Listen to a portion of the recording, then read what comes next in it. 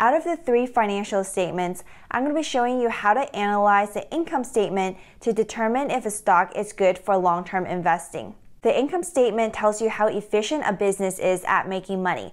And for a business to make money, it has to produce sales and keep costs down. On the statement, you'll see that through the revenue and expenses the business generated over the years. And keep in mind, the overall goal is to find a business with a durable competitive advantage. I will first go over how to read the income statement and then what to look for. And at the very end, I'll give you a four step guide on how to find stocks for long term investing. This is Morningstar.com, and let's analyze Costco. And to get there, we go to quotes, key ratios, full key ratio data, and then click on financials and income statement. It's already selected. The first line on the income statement is revenue, and revenue is how much sales the business made not including any cost whatsoever. And this includes both selling products or selling services. For example, if you sold 10 laptops for $1,000 each, then your revenue is $10,000. The next line is cost of revenue, and cost of revenue is a direct expense. So the more quantity you sell, the higher the cost of revenue would be. And sometimes instead of cost of revenue, you will see cost of goods sold.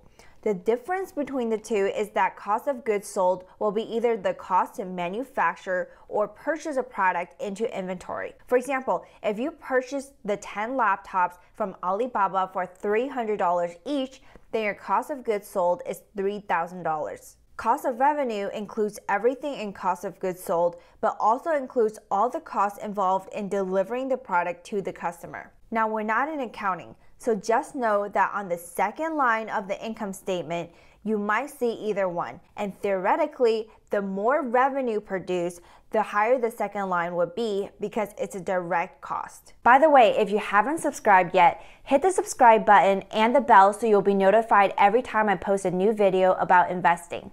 When we subtract cost of revenue from revenue, we get gross profit. And just a heads up, there will be three income slash profit on the income statement, and gross profit is the first one.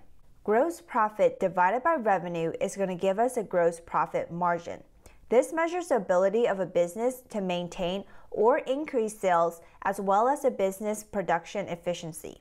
In business, staying competitive is very important. If a company doesn't have a durable competitive advantage, then customers like you and me will buy products and services based on whichever company will give us the best price. And you'll see that in a decrease in gross profit margin. In addition, if product costs increase faster than a company can increase the price it charges customers for the product or service, then you'll also see a decrease in gross profit margin. So when you look at gross profit margin, you want to see that it's consistent or increasing for a period of at least five years. And you don't have to calculate gross profit margin by yourself.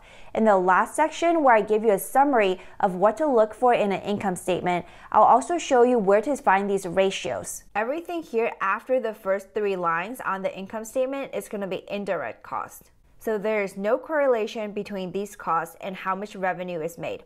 Operating expense is a cost associated with keeping the business running in its day to day operations. And on Costco, this is broken down into sales, general and administration, and other operating expenses.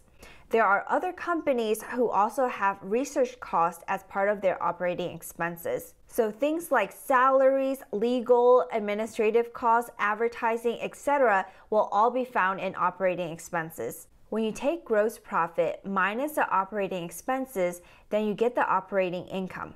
Now, you want to avoid companies with too high of an operating expense because if sales fall and you can't cut operating expenses fast enough, then it will be eating into your profit. So, high operating expenses can destroy the long term profitability of a business. And you want operating income to be increasing year after year. An operating margin is operating income or loss divided by revenue, and you want to see this consistent or increasing year after year. This measures how much of the revenue a company keeps after taking away direct expenses and business operation expenses.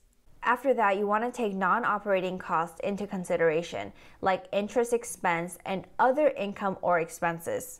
Ideally, you want the interest expense to be low, and the other income or expense isn't as important because these are one time occurrences that isn't related to the core operation of the business. And these things can be, for example, lawsuits, asset acquisitions, and etc.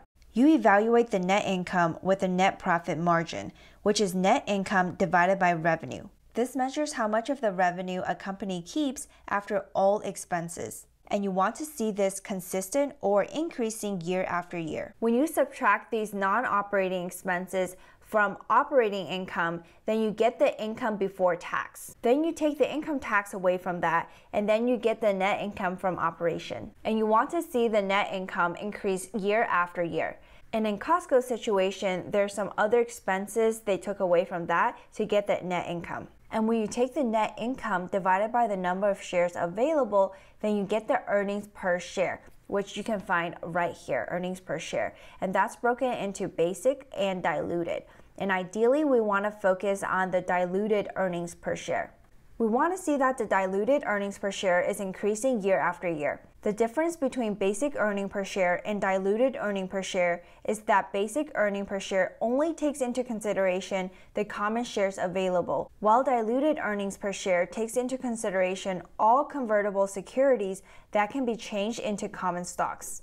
Now, let me give you a quick recap on what you want to look for in an income statement over a minimum of five years.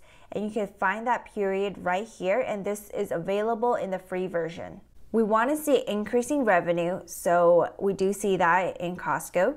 We want to see increasing gross profit, so yes, we do see that in Costco as well. Ideally, we want to see relatively low operating expenses and we want to see operating income increasing year after year as well. So, yes, we do see that in Costco. And ideally, we want to see low interest expense and we want to see over five years an increase in net income.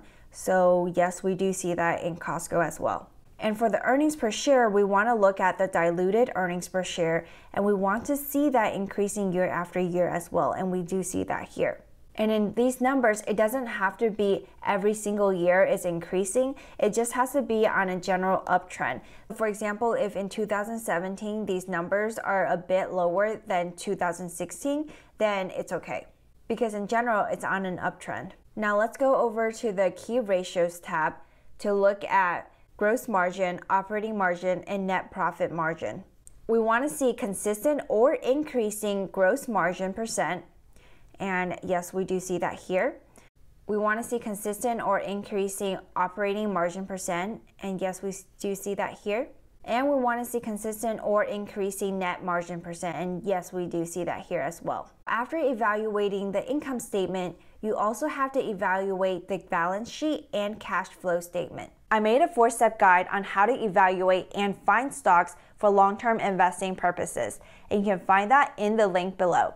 And if you like this video, check out the beginner stock investing series that I made.